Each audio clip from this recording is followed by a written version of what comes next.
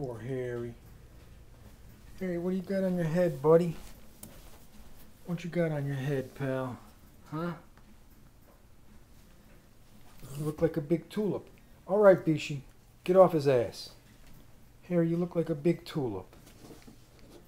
Oh, poor Harry. Poor little fella.